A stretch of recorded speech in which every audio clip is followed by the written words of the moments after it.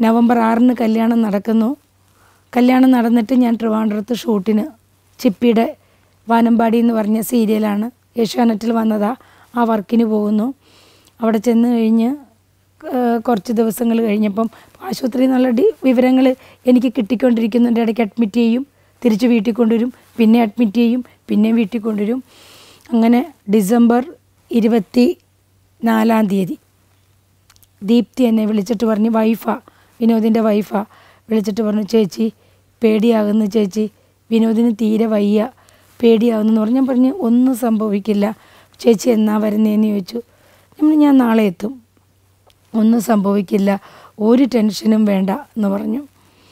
അങ്ങനെ ഞാൻ ട്രിവാൻഡ്രത്ത് നിന്ന് പിറ്റേ ദിവസം ക്രിസ്തുമസിന്റെ അന്ന് വന്നു നേരെ വീട്ടിൽ വന്ന് കുളിച്ച് ജനറൽ ഹോസ്പിറ്റൽ എറണാകുളം ജനറൽ ഹോസ്പിറ്റലിൽ ചെല്ലുന്നു. പിന്നെ വിനോദിനെ കാണുന്നു. വിനോദിന്റെ അടുത്ത് കുറച്ച് നേരം സംസാരിക്കുന്നു. കുറേ സമയം ഇരുന്ന് വിനോദിന്റെ കൈയൊക്കെ പിടിച്ചുകൊണ്ട് ഇങ്ങനെ ഇരുന്ന് കുറേ സമയം കഴിഞ്ഞിട്ട് ഞാൻ പറഞ്ഞു ഞാൻ വൈകുന്നേരം വരാട്ടോ എന്ന് പറഞ്ഞിട്ട് ഞാൻ വീട്ടിലോട്ട് പോകുന്നു. വീട്ടിൽ ചെന്ന് കുളിച്ചു വീണ്ടും കുളിച്ച് ഭക്ഷണം കഴിക്കാൻ എടുത്ത് വെച്ചപ്പം ഹോസ്പിറ്റലിൽ നിന്ന് ഫോൺ വന്നു വിനോദ് പോയി എന്നും പറഞ്ഞ് ഫോൺ വന്നു. ഞാൻ വരാൻ കാത്തിരുന്നത് പോലെയാണ് വിനോദ് പോയത്. അപ്പം നന്ദുവിലാണ് ഞാൻ ഈ കഥ തുടങ്ങിയത്. നന്ദുവിനെക്കുറിച്ചാണ് ഞാൻ പറഞ്ഞു തുടങ്ങിയത്.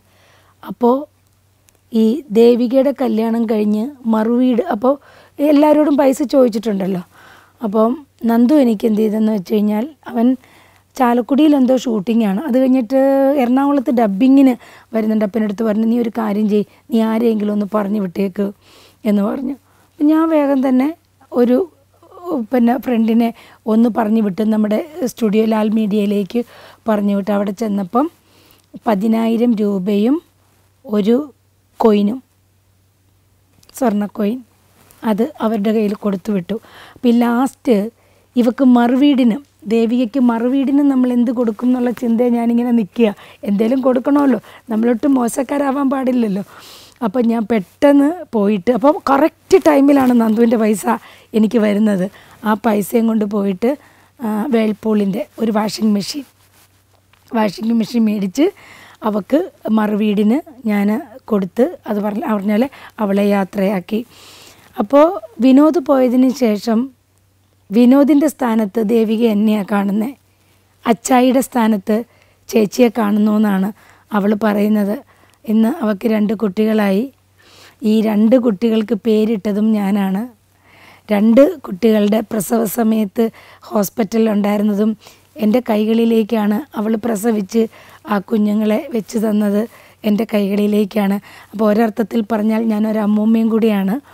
അപ്പോൾ ഈ എന്റെ ജീവിതത്തിലെ ഉടനീളമുള്ള എന്റെ ഈ സോഷ്യൽ വർക്കുകളിലും അല്ലെങ്കിൽ എന്റെ പേഴ്സണൽ ലൈഫിലുള്ള എന്റെ ദുഃഖങ്ങൾ തുറന്നു പറയുന്ന അല്ലെങ്കിൽ ആ തുറന്നു പറഞ്ഞു കഴിഞ്ഞാൽ അത് കേൾക്കാൻ ഒരു നല്ല ചെവിയുള്ള അല്ലെ കേൾക്കാൻ ഒരു ഒരു മനസാന്നിധ്യമുള്ള മനഃശക്തിയുള്ള എന്റെ ഏറ്റവും നല്ലൊരു ഫ്രണ്ടാണ് നന്ദു. പിന്നെ സാജൻ സൂര്യയുണ്ട് കിഷോർ സത്യയുണ്ട് രാജീവ് റോഷനുണ്ട്. ഇവരെല്ലാവരും എന്റെ ഫ്രണ്ട്സാണ് ഇവരോടെല്ലാവരോടും ഞാൻ ഒരുപാട് കാര്യങ്ങൾ പറയുകയും ഒക്കെ ചെയ്യുന്നുണ്ടെങ്കിലും എന്റെ ഒരു എന്താ പറയുക ഒരു ആത്മാവിന്റെ ഭാഗം എന്നൊക്കെ നമ്മൾ പറയില്ലേ? അങ്ങനത്തെ ഒരു കറകളഞ്ഞ കറ തീർന്ന ഫ്രണ്ടാണ് നന്ദു. ഒരുപാട് വർഷങ്ങൾ ഞാനിവിടെ നിന്നിട്ടും ആരെ അറിയിക്കാതെ വളരെ രഹസ്യമായിട്ട് ഒരുപാട് പേർക്ക് കൈത്താങ്ങായി നിന്നിട്ട് ഒരു ശരണ്യയിലൂടെയാണ് ഞാൻ ഇങ്ങനെയൊക്കെ കാര്യങ്ങൾ ചെയ്യുന്നു എന്ന് അറിഞ്ഞതെന്ന് ഞാൻ നേരത്തെ പറഞ്ഞു. അപ്പോൾ ഈ ശരണ്യ ആരാണെന്ന് കുറേ പേർക്കെങ്കിലും ഒരു സംശയം ഉണ്ടാകും. അല്ലെ ശരണ്യയിലേക്ക് ഞാൻ എങ്ങനെയാണ് എത്തിപ്പെട്ടതെന്നുള്ള ഒരു ചോദ്യം പലർക്കും ഉണ്ടാകും. അപ്പം ശരണ്യ എന്ന് പറഞ്ഞാൽ ഒരു സീരിയൽ സിനിമ ആക്ട്രസ് ആയിരുന്നു വളരെ സുന്ദരിയായ ഒരു മോളായിരുന്നു. അവൾ പാറിപ്പറന്ന് ഓടി നടന്ന് തമിഴും തെലുങ്കും മലയാളവും വർക്കുകളും ചെയ്തുകൊണ്ടിരിക്കുകയായിരുന്നു. അങ്ങനെ ഒരു സെപ്റ്റംബർ ഒരു ഓണക്കാലത്ത് അവൾ ഷോപ്പിങ്ങിനായിട്ട് പോകാൻ വേണ്ടി ഹൈദരാബാദിൽ നിന്ന് വന്നിട്ട് അവൾ ഷോപ്പിങ്ങിന് പോകാൻ വേണ്ടി ഇറങ്ങുന്ന സമയത്ത് കുറച്ച് ദിവസങ്ങളായിട്ട് അവൾക്കൊരു ചെറിയ തലവേദനയുണ്ട്. അപ്പോൾ തലവേദന വരും എവിടെയെങ്കിലും ഡോക്ടറെ കാണിക്കും പിന്നെ നമ്മൾ വേദന സംഹാരി കൊടുക്കും ഗുളിക കഴിക്കും അവൾ ആ വേദനയിൽ നിന്ന് അവൾ മുക്തി നേടും ഇങ്ങനെ പോയിക്കൊണ്ടിരിക്കുമായിരുന്നു അങ്ങനെ ഈ വേദന കലശലായപ്പം അവൾ നേരെ അനന്തപുരി ട്രിവാൻഡ്രം മോൾ തിരുവനന്തപുരത്തായിരുന്നു. അവളുടെ നാട് കണ്ണൂരാണ്. അപ്പം തിരുവനന്തപുരത്ത് അവൾ വാടകയ്ക്ക് വീടെടുത്ത് താമസിക്കുകയാണ്. ആ കുടുംബത്തിന്റെ അത്താണിയാണ് അവൾ അച്ഛനില്ല. അമ്മയും രണ്ട് സഹോദരങ്ങളും മാത്രമേ ഉള്ളൂ. ആ കുട്ടികളെ പഠിപ്പിക്കുകയും ആ കുടുംബത്തിന്റെ എല്ലാ കാര്യങ്ങളും നോക്കുന്നത് ആ മോളായിരുന്നു. അപ്പോൾ അനന്തപുരി ചെന്നപ്പോഴാണ് എം ആർ ഐ എടുത്തു കഴിഞ്ഞപ്പോഴാണ് അറിയുന്നത് അവൾക്ക് ഒരു തലയിലൊരു പ്രശ്നം ഉണ്ടെന്നുള്ളത് അറിഞ്ഞത്. അതിനുശേഷം അതത്ര സീരിയസ് ആക്കിയില്ല. അതിനുശേഷം ഒരുപാട് പരിശോധനകൾക്കൊക്കെ ഒടുവിൽ ബ്രെയിൻ ട്യൂമറാണെന്ന് തെളിഞ്ഞു. അപ്പം ഞങ്ങൾക്കൊരു സംഘടനയുണ്ട് ആത്മ.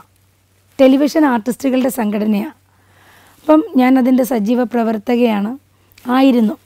അപ്പോൾ ആ സമയത്ത് ഇങ്ങനെ നല്ലൊരു മോൾക്ക് നല്ല സുന്ദരിയായ ഒരു മോൾക്ക് ഇങ്ങനെ ഒരു അസുഖം വന്നു. അപ്പോൾ ആൾക്കാരൊക്കെ പോകുന്നു കാണുന്നു.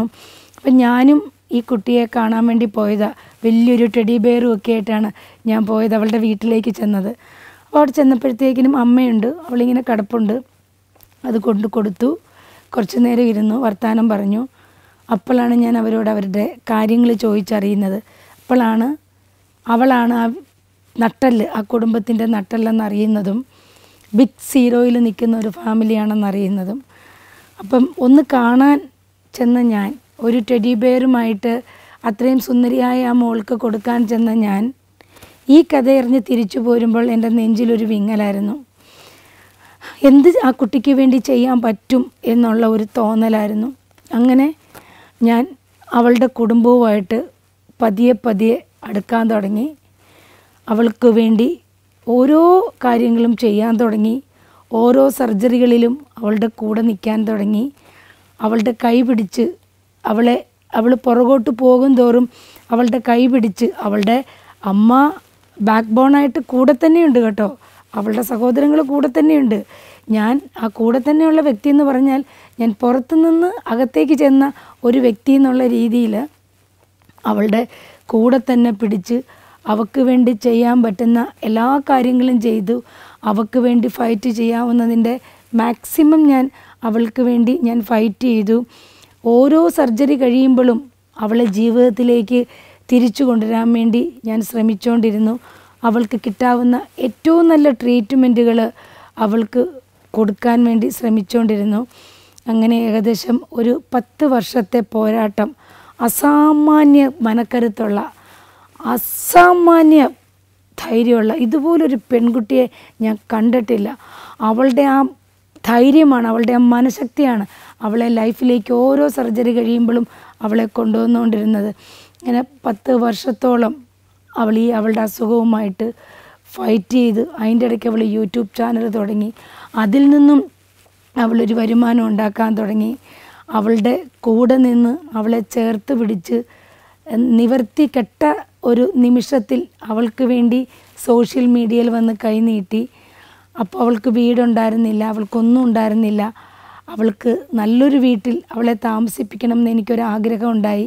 അങ്ങനെ തിരുവനന്തപുരത്ത് ചെമ്പഴന്തിയിൽ അവളുടെ ഇഷ്ടപ്രകാരം അവൾ സ്ഥലം പോയി കണ്ട് അവളുടെ പ്ലാൻ പ്രകാരം അവൾക്ക് വേണ്ടി ഒരു വീട് വെച്ച് ആ വീടിന്റെ പാൽ കാച്ച് നടത്തി അവളെ അത്രയ്ക്കും സന്തോഷത്തോടു കൂടി ആ വീട്ടിലേക്ക് ഞാൻ അവളെ കൈപിടിച്ച് കയറ്റിയത്. ഒരു ഒരു വീട്ടിലും ഇനി അവൾ മാറിപ്പോകാൻ മാറിപ്പോവരുത് അല്ലേ? ഒരു വീടിന്റെ മുമ്പിൽ ചെന്നിട്ട് വാടകയ്ക്ക് വേണ്ടി അവൾ ആരുടെ മുമ്പിൽ തലകുനിച്ച് നിൽക്കണ്ടെന്ന് വിചാരിച്ചു. പക്ഷേ അത് എന്റെ മാത്രം കഴിവല്ല. ഈ ലോകത്തുള്ള നൂറുകണക്കിന് ആയിരക്കണക്കിന് ലക്ഷക്കണക്കിന് ആൾക്കാരുടെ സഹായം കൊണ്ടാണ് ഞാനത് ചെയ്തിരിക്കുന്നത്.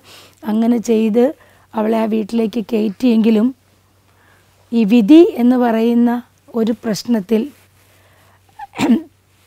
അവൾക്ക് ഞങ്ങളെ എല്ലാവരെയും വിട്ടു പോകേണ്ടി വന്നു. Djibouti Fiji Lebanon Ethiopia Armenia. Sancharam volume number seventeen. Full H ഡിയിലുള്ള ഈ അപൂർവ ദൃശ്യയാത്രാ വിവരണ ശേഖരം സ്വന്തമാക്കാൻ സഞ്ചാരം എന്ന് എസ് എം എസ് ചെയ്യൂ. Phone triple nine five triple four triple two അത് കഴിഞ്ഞ് എന്റെ ജീവിതത്തിൽ നന്ദു മഹാദേവ വന്നു. അവൻ അവനെ ഞാൻ പൈസ കൊണ്ടൊന്നും സഹായിച്ചിട്ടില്ലെങ്കിൽ പോലും അവനെ അവന്റെ ജീവിതത്തിലെ അമ്മ യശോദാമയായിട്ടാണ് എന്നെ കണ്ടത്. ദേവകിയും യശോദാമയും അല്ല, യശോദാമ്മ ആയിരുന്നു ഞാൻ. ഒരിക്കലും മസ്കറ്റിൽ എനിക്കൊരു പ്രോഗ്രാം ഉണ്ടായിരുന്നു ആ മസ്കറ്റിലേക്കുള്ള യാത്രയ്ക്കിടയിൽ മസ്കറ്റ് എയർപോർട്ടിൽ ചെന്ന് നിൽക്കുന്ന സമയത്ത് ഞാൻ ഇറങ്ങാൻ നിൽക്കുന്നതിന് മുമ്പ് പുറത്തൊരു കൊച്ചു നിൽക്കുന്നു. മറ്റേ കാൽ മുറിച്ച് മാറ്റിയിട്ടുണ്ട്. നല്ല സുന്ദരൻ ഒരു മോൻ. ഞാനിങ്ങനെ ആലോചിച്ചു അയ്യോ കാൽ മുറിച്ച് മാറ്റിയിട്ടുണ്ടല്ലോ. ഇതെന്ത് പറ്റി? ഇപ്പോഴത്തെ കൊച്ചുങ്ങളല്ലേ. ബൈക്കായിരിക്കും. കാരണം ബൈക്കിലുള്ള സ്പീഡിലുള്ള പോക്കിൽ എന്തോ സംഭവിച്ചതായിരിക്കും എന്ന് വിചാരിച്ച്. അപ്പോൾ അവനിവിടെ ഇങ്ങനെ നോക്കിക്കൊണ്ട് നിൽക്കുമോ എന്നെ. ഞാൻ ഇറങ്ങി ചെന്നപ്പോൾ ഇങ്ങനെ ചിരിച്ചു. അപ്പം ഞാൻ പെട്ടെന്ന് ചോദിച്ചു എന്ത് പറ്റി മോനെ? കാലിന്? എന്ന് ചോദിച്ചു. ക്യാൻസർ ആയിരുന്നു ചേച്ചി എന്ന്. ചിരിച്ചുകൊണ്ട് ഞാൻ ചോദിച്ചു ഏ? ക്യാൻസർ വന്ന് കാൽ മുറിച്ചതാന്ന്. ഞാൻ ദൈവമേ ചോദിച്ചല്ലോ എന്നായിപ്പോയി വളരെ കൂളായിരുന്നു അത് കഴിഞ്ഞിട്ട് ഭാഗ്യത്താൽ ഞാനും അവനും ഒരേ ഹോട്ടലിലാണ് താമസിച്ചത്. രാവിലെ ബ്രേക്ക്ഫാസ്റ്റിന് വരുമ്പോൾ അവൻ അവിടെ ഈ മോട്ടിവേഷൻ ക്ലാസ് എടുക്കാൻ വേണ്ടി വന്നതാണ് അപ്പോൾ രാവിലെ ഞങ്ങൾ ഒരുമിച്ച് കാണും. ഭക്ഷണം കഴിക്കും. അങ്ങനെ ഫോട്ടോയൊക്കെ എടുത്ത് അങ്ങനെ പതിയെ പതിയെ ഞാൻ അവനിലേക്കും അവൻ എന്നിലേക്കും അടുക്കാൻ തുടങ്ങി. അവൻ ജീവിതത്തിലേക്ക് ശരണ്യെ പോലെ തന്നെ ശക്തമായിട്ട് തിരിച്ചു വരാൻ ശ്രമിക്കും. വീണ്ടും അവന് ക്യാൻസർ വീണ്ടും പിടിമുറുക്കും. വീണ്ടും അവൻ തിരിച്ചു വരാൻ ശ്രമിക്കും. അപ്പോഴും വീണ്ടും അവനെ ക്യാൻസർ പിടിമുറുക്കും. അങ്ങനെ കേരളത്തിലെ പല ഹോസ്പിറ്റലുകളിലും വീണ്ടും വീണ്ടും അവൻ അസുഖം വന്നുകൊണ്ടിരുന്നു. അവനെ ചികിത്സിച്ചുകൊണ്ടിരുന്നു. അവസാനം എം വി ആറിൽ എം വി ആറിലേക്ക് എത്തി. എം വി ആറിൽ വരുമ്പോഴും ശരിക്കും പറഞ്ഞു കഴിഞ്ഞാൽ ശരീരം മുഴുവനും ഇത് സ്പ്രെഡ് ചെയ്തിരുന്നു. അപ്പോഴും കാരണം അവന്റെ ചില വാക്കുകളുണ്ട്. കാരണം ഒരു നിമിഷം ഒരു നിമിഷമെങ്കിൽ ഒരു നിമിഷം പുകയരുത് ജ്വലിക്കണം. അത് നന്ദു മഹാദേവയുടെ വാക്കാണ്. കാരണം അവന്റെ മോട്ടിവേഷനിലൂടെ അവന്റെ സംസാരത്തിലൂടെ അവന്റെ വാക്കുകളിലൂടെ തിരിച്ചു വന്ന ഒരുപാട് പേരുണ്ട്. ക്യാൻസറിൽ നിന്ന് രക്ഷപ്പെട്ടു വന്ന ഒരുപാട് പേരുണ്ട്. ഒരുപാട് പേർക്ക് അവൻ ജീവിതം കൊടുത്തിട്ടുണ്ട്. അവന് കിട്ടിയ പൈസയിൽ ഇപ്പം വീഡിയോ ഒക്കെ ഇട്ടിട്ട് ട്രീറ്റ്മെന്റ് അവസാനം പറ്റാതെ വന്നപ്പോൾ അവന് വീഡിയോ ഇട്ടിട്ട് കിട്ടിയ പൈസയിൽ അവൻ ഒരുപാട് പേരെ ചികിത്സിപ്പിച്ചിട്ട് ജീവിതത്തിലേക്ക് തിരിച്ചു കൊണ്ടുവന്നിട്ടുണ്ട്. ഇതിന്റെ ഇടയ്ക്ക് അവൻ കീബോർഡ് പഠിക്കാൻ തുടങ്ങി. വെച്ചാൽ വേദന കൊണ്ട് പൊളയുമ്പോഴും ശരീരത്തിൽ മുഴുവനും സ്പ്രെഡായി വിരലുകളുടെ തുമ്പിൽ പോലും ഇതായിരുന്നു അവന്റെ അവസാന നിമിഷത്തിൽ. അത്രയും വേദനകൾ കൊണ്ട് പൊളയുന്ന സമയത്ത് ഞാൻ അവനെ കാണാനായിട്ട് എം വി ആറിനടുത്തുള്ള ഒരു വീട്ടിൽ അവൻ വാടകയ്ക്ക് താമസിച്ചിരുന്നു. അപ്പം ഞാൻ ഒരു ദിവസം രാവിലെ വീട്ടിൽ നിന്നൊരു മൂന്ന് മണിക്ക് എഴുന്നേറ്റ് ഫുഡൊക്കെ ഉണ്ടാക്കി. എനിക്ക് ആഗ്രഹം ഉണ്ടായിരുന്നു അവന് ഇഷ്ടമുള്ള ഫുഡൊക്കെ ഉണ്ടാക്കി കൊണ്ട് ചെല്ലണമെന്ന്. അങ്ങനെ അതും കൊണ്ട് ഞാൻ കോഴിക്കോട് എം വി ആർ ഹോസ്പിറ്റലിന്റെ അവിടെ ചെന്ന് ഞാൻ തന്നെ അവന് ചോറ് വാരിക്കൊടുത്ത് അതെല്ലാം കഴിഞ്ഞ് അവനപ്പം ഫുഡ് കഴിക്കുന്നത് കുറവായിരുന്നു. അവന് കഴിക്കാൻ അങ്ങനെ പറ്റണുണ്ടായിരുന്നില്ല. അത് കഴിഞ്ഞ് ഇപ്പുറത്തെ റൂമിലേക്ക് വന്നിട്ട് അവിടെ ഇരുന്നിട്ട് അവൻ എന്നെ കീബോർഡ് വായിച്ച് കേൾപ്പിച്ചു. പാട്ട് പാടി ഭയങ്കര രസമായിട്ട് വേദന എന്ന് വെച്ചാൽ അവന്റെ അമ്മ പറയുന്നത് ഒരു രക്ഷയില്ലാത്ത വേദനയായിരുന്നു സീമ രാവിലേക്ക് എന്ന് പക്ഷേ ഞാൻ ചെല്ലുമ്പം അവൻ ചിരിച്ചുകൊണ്ടിരിക്കും ചിരിച്ചുകൊണ്ടിരിക്കുമായിരുന്നു അങ്ങനെ ഒരു കോവിഡ് കാലഘട്ടത്തിലായിരുന്നു അവന്റെ മരണം. അവൻ അത് ലാസ്റ്റ് എനിക്ക് അവനെ കാണാൻ പറ്റിയില്ല. അവൻ മരിച്ചിട്ട് ഇപ്പം മൂന്ന് വർഷമായി. അപ്പം പോകാൻ പറ്റിയില്ല. ട്രിവാൻഡ്രത്തേക്ക് ബോഡി കൊണ്ടുവരാൻ പറ്റില്ലായിരുന്നു. കോവിഡിന്റെ ഈ പ്രശ്നങ്ങളുള്ളത് കൊണ്ട് അങ്ങനെ പോയി. അത് കഴിഞ്ഞിട്ട് എനിക്ക് ഏറ്റവും പ്രിയപ്പെട്ട ഒരു സുരേഷ് ഉണ്ടായിരുന്നു. ചാരുമൂട്ടിൽ ഡ്രൈവറാണ് അപ്പോൾ കിഡ്നി ഒരു കിഡ്നി ട്രാ കിഡ്നി ട്രാൻസ്പ്ലാന്റ് ചെയ്തതാണ്. അപ്പം ഈ പറഞ്ഞതുപോലെ തന്നെ സുരേഷ് കിഡ്നി ട്രാൻസ്പ്ലാന്റ് ചെയ്ത് ഇതും കഴിഞ്ഞിട്ട് ഒന്നുമില്ല കയ്യിൽ ഒരു ടാക്സി ഓടിച്ചാൽ എന്ത് കിട്ടും? എന്നിട്ടും ഇതും കൊണ്ട് ലോകത്താരെയൊക്കെ സഹായിക്കാൻ പറ്റുമോ അവരെയൊക്കെ സഹായിക്കാൻ പോകും. എന്റെ സ്വന്തം എന്റെ എന്റെ സ്വന്തം മനുഷ്യനെ പോലെയായിരുന്നു. യാദൃശികമായിട്ട് പരിചയപ്പെട്ടതാണ് പിന്നെ തൃശ്ശൂർ വെച്ചിട്ട് ഡേവിഡ് ചിറമേലച്ചന്റെ ഒരു കിഡ്നി ഈ ട്രാൻസ്ഫർ ചെയ്ത ആൾക്കാരുടെയൊക്കെ ഒരു ക്യാമ്പ് ഉണ്ടായിരുന്നു. അവിടെ വെച്ച് യാദൃശികമായിട്ട് പരിചയപ്പെട്ടതാണ്. പിന്നെ എന്റെ ജീവിതത്തിന്റെ ആരോ ആയി മാറി. അങ്ങനെ ഇപ്പം ഈ മെയ് പതിനാലാം തീയതി ആയപ്പോൾ രണ്ട് വർഷമായി. അങ്ങനെ ഞാൻ രണ്ട് വർഷം മുമ്പ് ഒരു പതിനൊന്നാം തീയതി ആ ഒരു മെയ് ഫസ്റ്റ് വീക്കിലാണ്. മെയ് ഫസ്റ്റ് വീക്കിൽ സുരേഷിന്റെ സിസ്റ്ററുടെ സരസ്വതി ചേച്ചിയുടെ ഫോൺ വരുന്നു. മോളെ സുരേഷിന് തീരെ വയ്യ. എന്നെ അന്ന് കണ്ടുപിടിച്ചിട്ടില്ല. അതുകൊണ്ട് അവനെ നോക്കുന്ന ഡോക്ടർ ട്രിവാൻഡ്രത്തല്ലേ? ഇപ്പം അങ്ങോട്ട് കൊണ്ടുപോവുകയാണെന്ന് പറഞ്ഞു. ഞാൻ പറഞ്ഞു ആ ചേച്ചി ഞാൻ എത്തിയേക്കാം എന്ന് പറഞ്ഞു. അങ്ങനെ ഞാൻ ഹോസ്പിറ്റലിൽ ചെന്ന് നെഫ്രോളജിയുടെ ഹെഡുണ്ട്. ഡോക്ടറെ കാണുമ്പോഴാണ് ഡോക്ടർ പറയുന്നത് അന്നനാളത്തിൽ ക്യാൻസറാണ് അത് നമുക്ക് ഭേദമാക്കാൻ പറ്റാത്ത രീതിയിലേക്ക് സംഭവമായി എന്ന് പറഞ്ഞു. അപ്പം ഞാൻ ചിരിക്ക അഭിനയം അറിയാവുന്നത് കൊണ്ട് നമുക്ക് ചിരിക്കാൻ പറ്റും. പക്ഷെ നമ്മുടെ മുഖത്തത് വ്യക്തമായിട്ട് അറിയുകയും ചെയ്യും. ഞാൻ അതെല്ലാം മാറ്റി അതിന് ശേഷം ഞാൻ സുരേഷിന്റെ അടുത്തേട്ട് ചെന്ന് സുരേഷിന്റെ അടുത്ത് ചെന്നപ്പം എന്നെ കണ്ടതും എന്തോ ഒരു ഭയങ്കര എന്തോ ഒരു ഒരു വെളിച്ചത്തിലേക്ക് വന്ന ഒരു ഫീൽ സുരേഷ് കാണിച്ചു. സുരേഷ് കട്ടിൽ ചാടി എഴുന്നേറ്റ് ഇങ്ങനെ ഇരുന്നു. അപ്പം നേഴ്സുമാരൊക്കെ ചിരിച്ചുകൊണ്ട് പറഞ്ഞു ആ ചേച്ചി വന്നപ്പോൾ സുരേഷിന്റെ വിധം മാറിയല്ലോ എന്ന് പറഞ്ഞു. അപ്പോൾ ഞാനിങ്ങനെ ഞാൻ എന്ത് പറ്റി? എന്ന് ചോദിച്ചു. എന്താണെന്നറിയില്ല ചേച്ചി ഇങ്ങനെ കിഡ്നിയുടെ എന്തോ പ്രശ്നമാണെന്നാണ് തോന്നുന്നേ എന്ന് പറഞ്ഞു. അപ്പം ഞാൻ പറഞ്ഞു അത് സാരമില്ല നമുക്ക് മാറ്റാമല്ലോ അതൊന്നും നമുക്ക് കുഴപ്പമില്ലല്ലോ എന്ന് പറഞ്ഞു. അപ്പം എന്റെ ഈ രണ്ട് കൈയും കൂട്ടിപ്പിടിച്ചിട്ട് പറഞ്ഞു ചേച്ചി ഞാൻ ജീവിതത്തിൽ ആരോടും ഒരു തെറ്റും ചെയ്തിട്ടില്ല. ചേച്ചി എന്നെ ഒന്ന് രക്ഷിക്കണേ ചേച്ചി.